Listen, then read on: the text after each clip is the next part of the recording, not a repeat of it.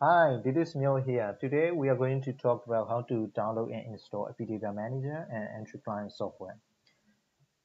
So first open your browser, go to Google and search for Data. So the first link is the official link for uh, software. Click on the link. If you are a beginner, I suggest you read all these. Otherwise, we will go to download page what we are going to do is we will download Data Manager entry client for data collection. But the Epidata uh, website also offer an additional software which is called Analysis, uh, which, uh, as the name suggests, it is for data analysis.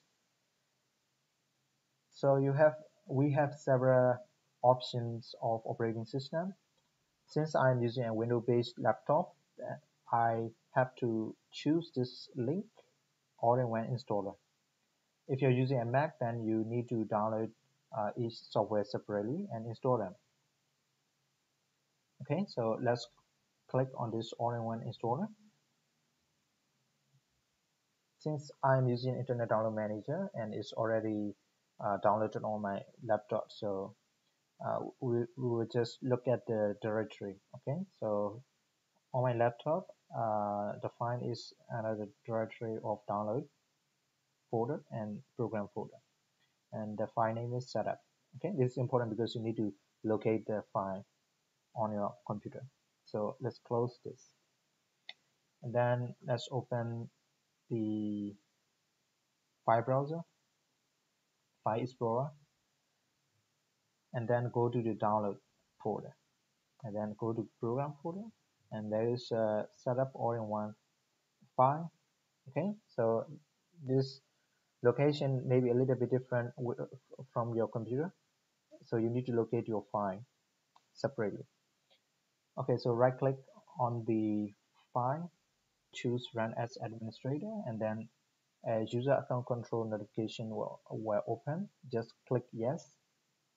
And then it will say okay choose this option I accept the agreement and then next next next and install. So after installation you just click next and then we just finish the installation process. Okay so now what we have to do is uh, check whether it is properly installed or not. So go to the start menu it is around this uh, left bottom corner left corner and then uh, scroll down to the Data folder and then check for the Data Manager. Okay so it should it should open like this. So check the version. The version is uh, 4.6.02 okay so this is working well close this and then go to the start menu again.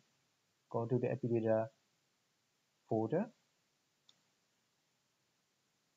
and then check for Epidata entry client. Okay so both software are working properly.